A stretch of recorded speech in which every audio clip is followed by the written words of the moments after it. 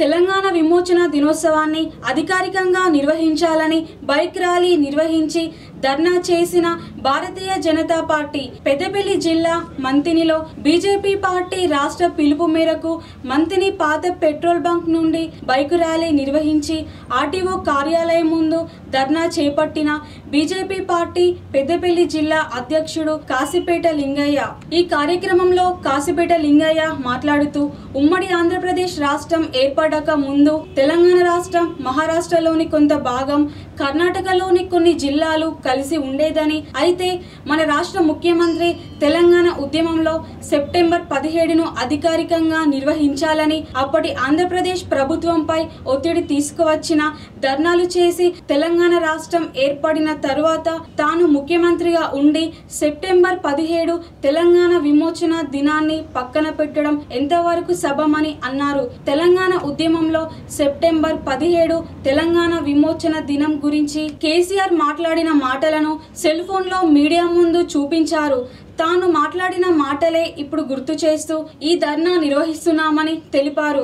ముఖ్యమంత్రి గారు సెప్టెంబర్ పదిహేడు తెలంగాణ విమోచన దినాన్ని అధికారికంగా నిర్వహించకుంటే బీజేపీ పార్టీ ఆధ్వర్యంలో అన్ని ప్రభుత్వ కార్యాలయపై తామే జెండా ఎగరవేశామని హెచ్చరించారు. ఈ సందర్భంగా వారు వినతి పత్రాన్ని మూసి ఉన్న ఆర్టీఓ కార్యాలయం డోర్కు అంటించారు. మంతిని పట్టణంలో ఎలాంటి అనుమతులు లేకుండా బైక్ ర్యాలీ నిర్వహించిన అందుకు బీజేపీ కార్యకర్తలపై మంత్రిని పోలీసులు కేసు నమోదు చేశారు. ఈ కార్యక్రమంలో బీజేపీ జిల్లా అధ్యక్షుడు Kasipeta Lingaiah municipal convener Chiluveri Satish Kumar co convener Sabbani Santosh మండల అధ్యక్షుడు బోయిని నారాయణ కార్యదర్శులు మెదురవైన రవి వెలుపుల రాజు తదితరులు పాల్గొన్నారు. పెద్దపల్లి జిల్లా ఆధ్వర్యంలో సెప్టెంబర్ పదిహేడు దినాన్ని పురస్కరించుకొని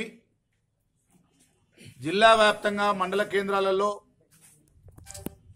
మోటార్ సైకిల్ ర్యాలీలు నిర్వహించాలని అదేవిధంగా ప్రభుత్వ కార్యాలయాల ముందు ధర్నా చేయాలని ప్రభుత్వానికి విజ్ఞాపన ఇవ్వటము పదిహేడవ సెప్టెంబర్ను పురస్కరించుకొని తెలంగాణ విమోచన దినంగా రాష్ట్ర ప్రభుత్వం పాటించాలని భారతీయ జనతా పార్టీ డిమాండ్ చేస్తూ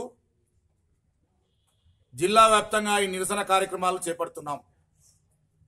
అందులో భాగంగా మంతని మున్సిపాలిటీలో ఈరోజు గ్రామంలో టౌన్లో అన్ని నగరాలు తిరిగి మా వాడలు తిరిగి ఆర్డీఓ ఆఫీస్ ముందు ఆర్డీఓ గారికి వినతి పత్రం ఇవ్వడానికి రావడం జరిగింది.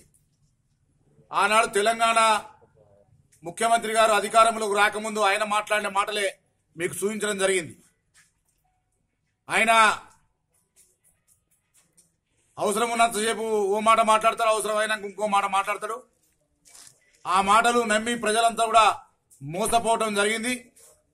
తెలంగాణకు మనం తెలంగాణ తెచ్చుకుంటే నిధులు వస్తాయి నీళ్ళు వస్తాయి ఉద్యోగాలు వస్తాయి అని చెప్పిన పెద్ద మనిషి తెలంగాణ వస్తే దళితుని ముఖ్యమంత్రి చేస్తానన్న పెద్ద మనిషి తెలంగాణ వస్తే మనకందరికి కూడా ఇబ్బందులు కష్టాలు అన్ని పోతాయని చెప్పిన ముఖ్యమంత్రి ఇలా తెలంగాణ తెచ్చుకున్నాక తెలంగాణను దోసుకొని తినే విధంగా ఇలా ముఖ్యమంత్రి గారు వ్యవహరిస్తున్నారు.